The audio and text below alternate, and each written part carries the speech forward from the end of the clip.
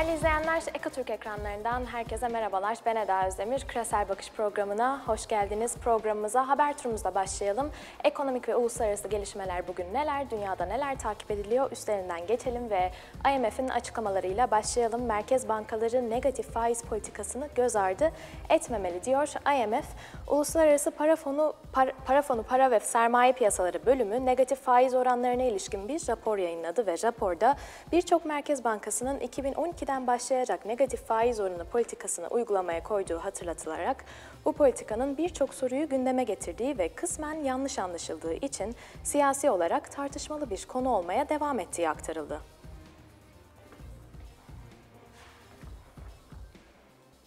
Amerika tarafından devam edelim ve Başkan Joe Biden ulusal güvenlik strateji belgesini açıkladı. Bu konudaki detayları paylaştı kamuoyuyla. ABD Başkanı Joe Biden kendi döneminde ulusal güvenlik stratejisine yön vermesi beklenen belgeyi açıkladı.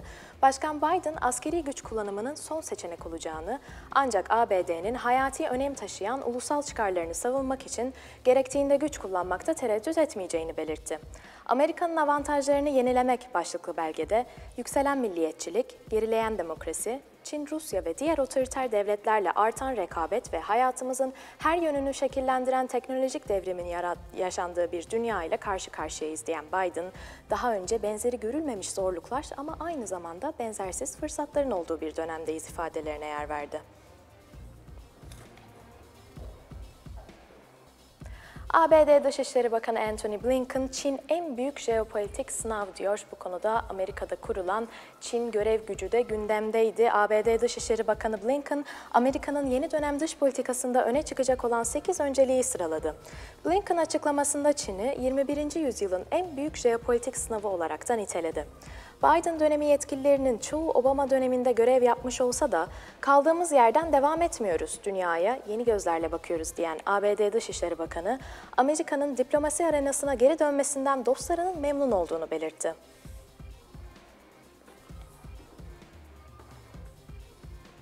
Artan tahvil getirileriyle ilgili Fed'den farklı sesler yükseliyor. Bugün Evans uzun vadeli tahvil getirilerindeki artışın artıştan endişe etmiyorum diyor Chicago Fed Başkanı. Uzun vadeli tahvil getirilerindeki artışın arkasında reel faktörlerin olduğunu söylüyor. Kendisi piyasa katılımcılarının uzun vadeli hazine kağıdı getirilerinin geçen hafta yaşadıkları yükseliş hızına odaklandıklarına işaret eden Evans, bu artışın daha uzun vadeli bir bakış açısıyla değerlendirilmesinin önemli olduğunu söyledi. Evans, uzun, uzun vadeli hazine kağıdı getirilerinin geldikleri seviyelerinin pandemiden önceki bir yılda ekonomi güçlüyken oldukları seviyelerle karşılaştırıldıklarında daha düşük olduklarını vurguladı.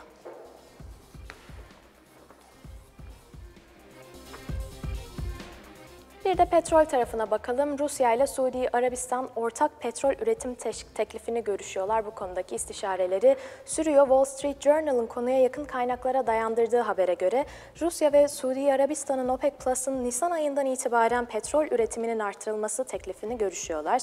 Habere göre iki ülke toplamda günlük üretim artışını 1 milyon varil artıracak üretim düzenlemeleri için çalışıyor. Buna göre Suudi Arabistan 1 milyon varillik gönüllü üretim kasıntısını 500 bin varil azaltacak. OPEC Plus'ın diğer üyeleri de günlük 500 bin varillik üretim artışı yapacaklar. Kaynaklar plan kapsamında Rusya'nın günlük üretiminin 125 bin varil artacağını ifade ettiler. OPEC Plus'ın Nisan ayından itibaren uygulanacak üretim politikası kararını bugün açıklaması bekleniyor. Toplantı Türkiye saatiyle 16'da başlayacak.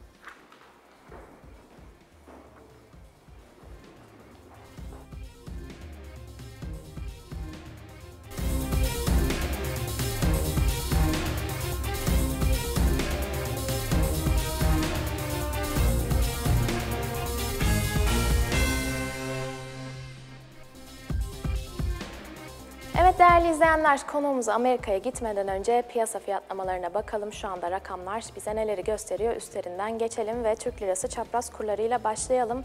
Tüm oklar aşağıya bakıyor. Dolar, Euro, Pound ve İsviçre frangı Türk Lirası karşısında düşüşe geçmiş durumda. Oranlarına bakalım. Dolar TL 7.43'lerde ve %0,16'lık düşüş kaydediliyor. Anlık olarak Euro TL'ye baktığımızda oradaki düşüş %0,45 oranında ve seviye 8.94'lerde ilerliyor. diyebiliriz. Pound TL'ye bakacak olursak %0,22'lik bir düşüş var ve 10.36 seviyeleri Pound Türk Lirası tarafında kaydediliyor diyelim. İsviçre frangı Türk lirası paritesine bakalım.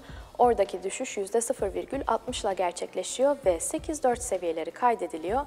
Diyebiliriz sepet kura bakacak olursak %0,25'lik bir düşüşte sepet kur tarafında var 8.19'lar takip ediliyor şu an. Amerika ile devam ediyoruz. Burada da bir satış dalgası var. Dow Jones %0,20 ile düşüşte 31.209,18 puan seviyeleri görülüyor. Şu an S&P 500 tarafında da %0,24'lük bir düşüş var ve 3804 puan seviyeleri kaydediliyor. Nasdaq Teknoloji Endeksinde ise düşüş %0,30'luk ve 12.634,13 seviyeleri de orada görülüyor diyelim. Avrupa'ya bakalım. Fransa ve Eurostox pozitif ayrışıyorlar. Almanya DAX, İngiltere FTSE 100 ve İspanya IBEX'te satış var. Eurostox'ta %0,12'lik yukarı yönlü hareket var ve 3695,85 puan seviyelerini görüyoruz. Diğer pozitif taraf Fransa'da ise artış %0,22'lik ve 5816,75 puan seviyeleri kaydediliyor. Diyelim bakalım Almanya'ya.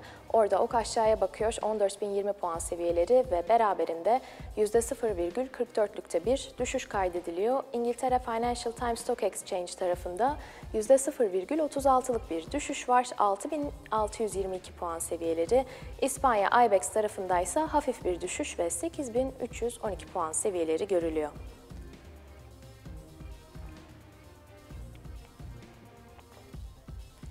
Son olarak bir de emtia grubuna bakalım. Burada pozitif bir hava hakim ons altın yükselişte %0,20 ile ve 1719 dolar 18 sentten işlem görüyor anlık olarak. Petrol grubuna bakalım. Orada da yükselişler göze çarpıyor ve Brent petrol varil başına 64 dolar 2 sentteyken ham petrol yine varil başına 61 dolar 39 sentte.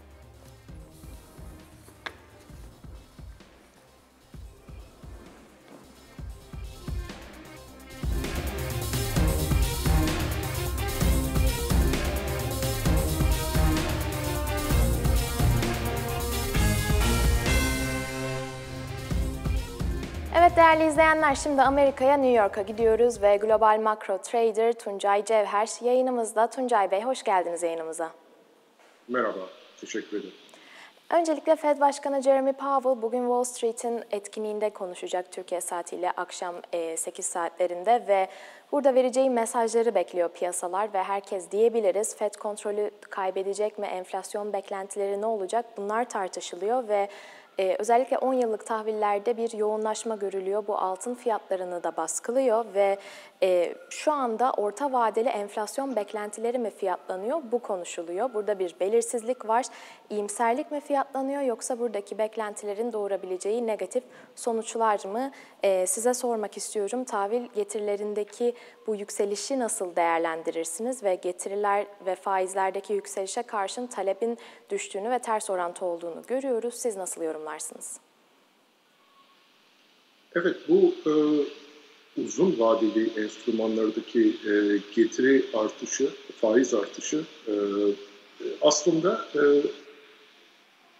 bir nevi reflasyon, bir nevi değil tam anlamıyla reflasyon e, etkisiydi. Yani ekonominin açılması artık riskli enstrümanlardan e, bir kayış e, ve e, bunun getirdiği e, e, bono piyasasından hisse senetleri piyasasına bir bir akım e, ve bu hisse senetleri dahilinde de teknoloji değil daha çok endüstriyel şirketlerin talep görmesiydi. Böyle başlamıştı. Şimdi ben geçen hafta size bahsettiğim artık bir yere kadar bu faiz artışı olumlu etki yaratıyordu piyasaya. Yalnız temettü oranlarıyla temettü getirilerinin e, faiz oranlarıyla karşılaştırılması sırasında e, yaşadığımız e, bakın Nasdaq'ın teknoloji ağırlıklı olan Nasdaq'ın ki genellikle bunların temettü oranları düşüktür. Temettü oranı 5 yıllık faiz, faizlerin biraz altında. 10 yıllıklara karşılaştırdığımız S&P benchmark'ı hemen hemen aynı bir yüzde bir buçuk seviyesinde. E, ancak Dow Jones endüstriyel e, endeksin e, temettü getirisi yüzde iki civarı. E, ama 30 yıllıklar yüzde iki yirmi beş civarı. Yani burada bir rezistans olduğunu e, size söylemiştim e, e, geçen haftaki konuşmalarımda e, ki karşılaştı tam oraya kadar geldi. Şimdi tabii ki de riskli enstrümanlara yatırım yaptığınızda e, e, biraz daha fazla e, e, getiri e, e, gerekiyor. E, yani bu bir e, 30 yıllık bonoların e, Dow Jones'a karşı daha atraktif hale gelmesinden bahsediyorum.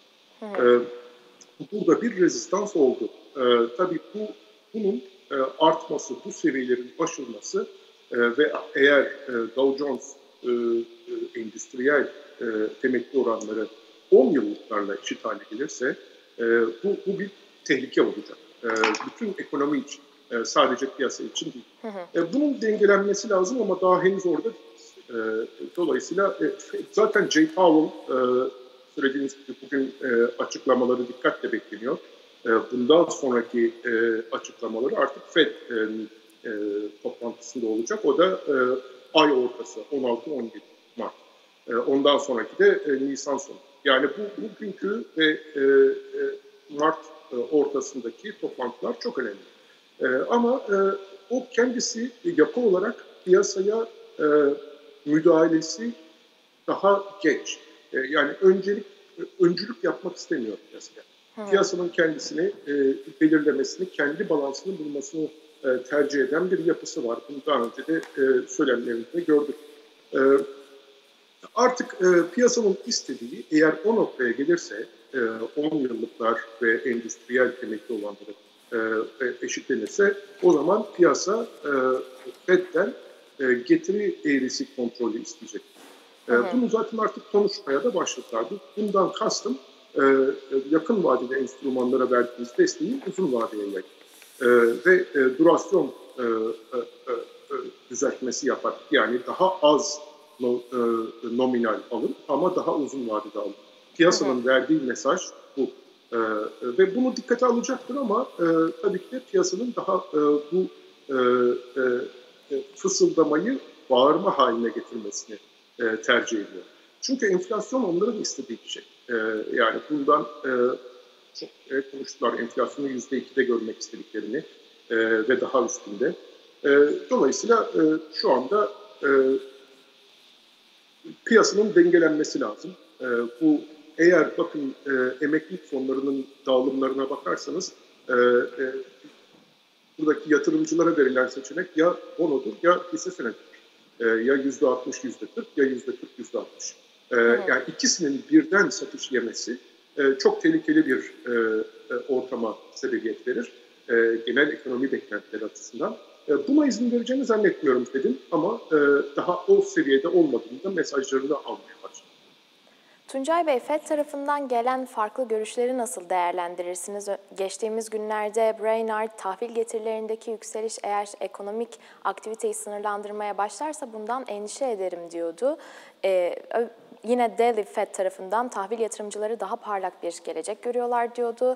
Bugünse Fed tarafından yine Evans uzun vadeli tahvil getirilerindeki artıştan endişe etmiyorum diyor. Farklı sesler de yükseliyor o taraftan net mesajlar da geliyor.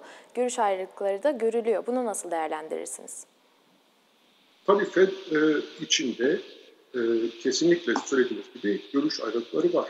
E, e, bunu e, Avrupa Merkez Bankası, İngiltere Merkez Bankası e, da bu e, e, konsörlerini bahsettiler geçen hafta. E, yani e, artık Powell'ın bu endişelere kulak vermesi gerekiyor. E, bu, bunu e, göz ardı etmesi doğru olmaz. E, ancak dediğim gibi e, onun baktığı daha çok 10 yıllık vadelerin e, e, temelli olanlarına yaklaşıyor. 30 yıllıklar şu anda e, arttı. E, artık bunun çok büyük bir kısmı reflasyon yani ekonominin açılma sebebi dolayısıyla olduğu için e, onun e, onun bahsettiği nokta bu zaten. Hı hı. E, reel faktörler yüzünden buraya geldi. E, spekülatif e, e, enflasyonu bugün baktığımız zaman enflasyon beklentilerine piyasa yüzde üç bekliyor. E, şu evet. anki e, fiyatlamalarda. Ama e, Merkez Bankası yüzde ikiye çok mutlu olurum diyor. E, yani e, biraz kapıyı açıyor e, ama tabii bu kapıyı da e, tam anlamıyla açması dediğiniz gibi o, o şeylerin yükselmesine sebep olacak. E, bu noktaya geldiğimizde de işte getiri kontrolüne e, gelecekler. Bunun da sinyalini vermesini bekliyorum e. Onun sinyalini verirse zaten piyasa e, bakın e, 1.9 trilyonluk e, mali yardım e, geçiyor. E, ve burada da Biden e, orta saha oyuncusu olduğunu e, bir kez daha gösterdi piyasaya. Yani e, bütçe endişelerine kulak verdi Cumhuriyetçiler tarafından gelen. Ve kendi e, sol tabanına e, e, taban, tabanından uzaklaştı bunlarda.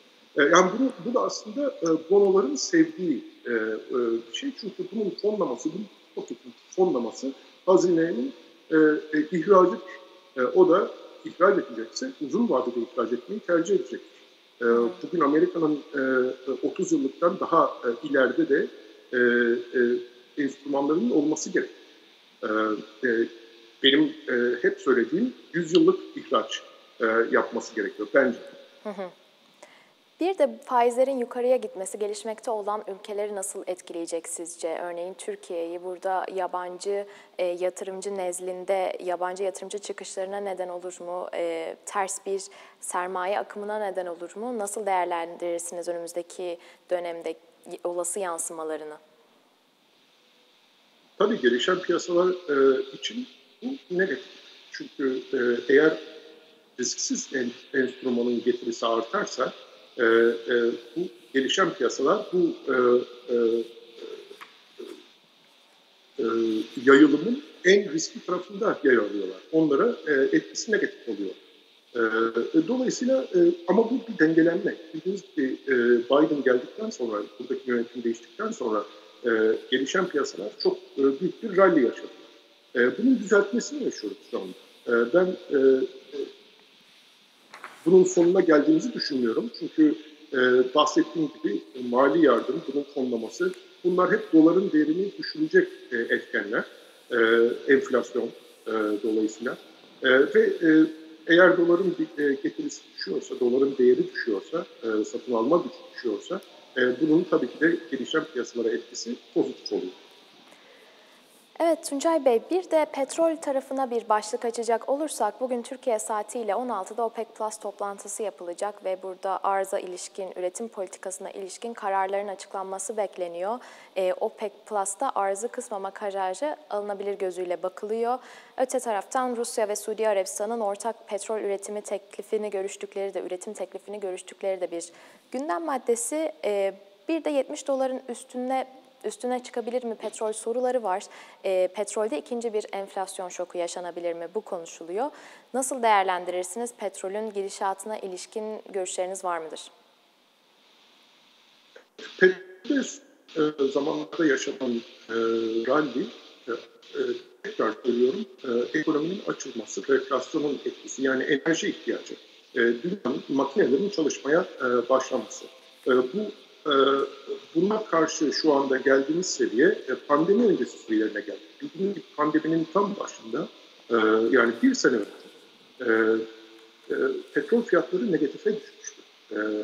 Yani o çok büyük bir toparlanmadan bahsediyoruz. Çok doğaldır şu anda OPEC Plus dediğimiz Rusya'nın katılması OPEC'e yani grubu kurması OPEC Plus grubunu.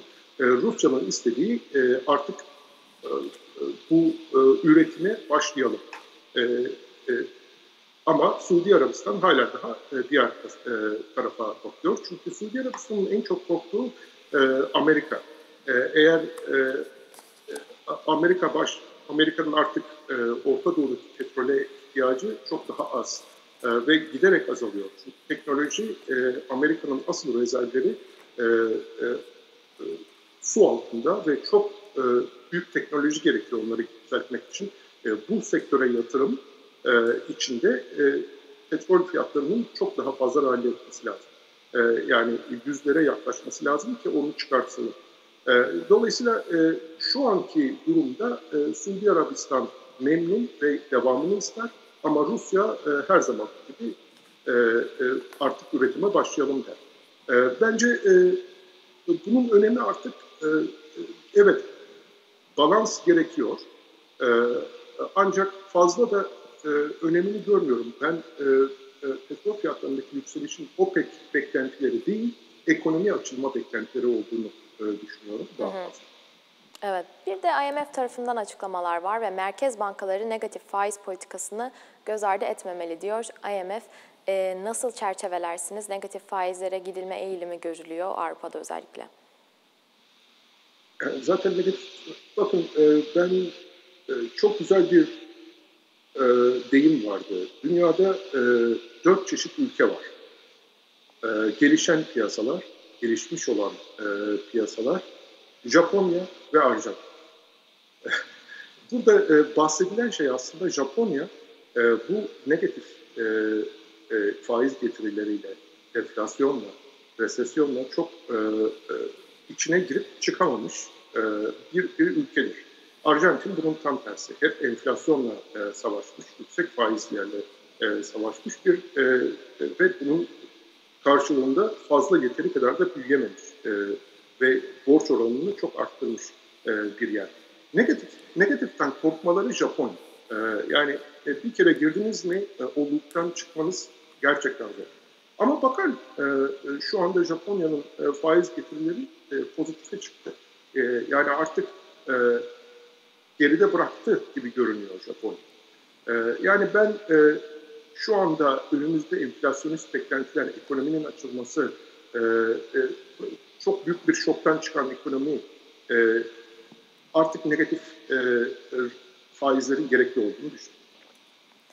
Tuncay Bey, bir de uluslararası ilişkilere de bir pencere açacak olursak, ABD Dışişleri Bakanı Blinken'dan e, Çin en büyük jeopolitik sınav açıklaması geldi. Zaten bu bağlamda Çin görev gücü de kuruldu. Her fırsatta Joe Biden da bunu dillendiriyor ve e, yeni kabine de Trump'ın ciddi bir güç olarak görmesinde Çin'i, belki usul olarak yanlış ama yaklaşım olarak doğru olduğunu yorumluyorlardı. Ee, önümüzdeki dönemde pandeminin yeni bir dönemine de girilmişken Çin'le ticaret savaşında, ekonomilerin e, yarışında nasıl bir resim çıkacak karşımıza? Sizin değerlendirmeleriniz ne olur? Evet, bahsettiğim gibi daha önce e, Biden orta olmuş.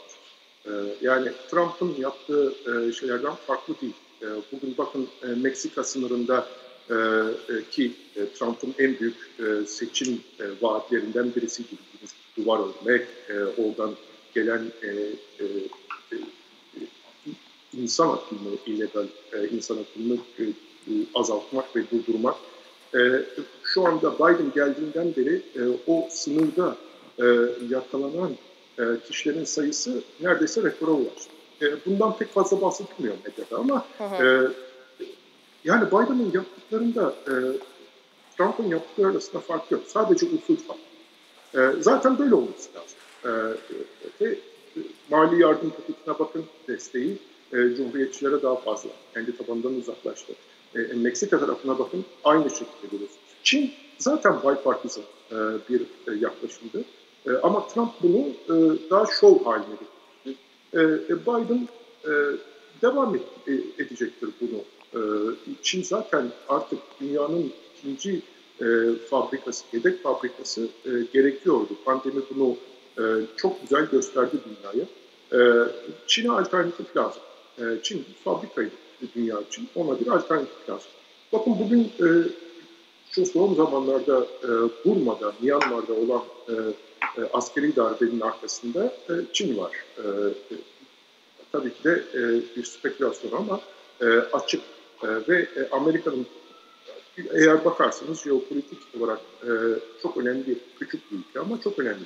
Ve stratejik metaller açısından da çok büyük bir e, ham maddesi var. E, oraya e, gelen e, e, yönetim kontrolü e, bizim benim hep bahsettiğim en büyük risk aslında. E, dünya ticareti için çok önemli olan bir bölge. E, e, Güneydoğu Asya. E, ve oranın kontrolü e, aslında e, dünya savaşlarına sebep olan e, zamanlar. Dünya Savaşı'nın e, çok büyük bir sebebiydi Pasifik kontrol. E, Güney Doğu e, Asya'daki kontrol savaşı hızlanacak bence. E, bu Bunun arkasında e, iki tane e, çok büyük e, oyuncu var ve e, dünyanın polarizasyonu devam edecek. E, ama e, bunun bir savaşa girmesi e, iki taraf için de şu anda e, beklenecek bir şey değil. E, e, buradan e, kar edecekleri bir şey görünüyor. E, do- ama e, o tansiyon devam edecek orada. Evet. Tuncay Bey süremizin sonuna geldik böylelikle de. Çok teşekkür ediyoruz New York'tan aktardıklarınız için, değerlendirmeleriniz için. Ben teşekkür ederim. Değerli izleyenler, Global Makro Trader Tuncay Cevher bizlerle beraberdi küresel bakışta ve sonuna geldik burada.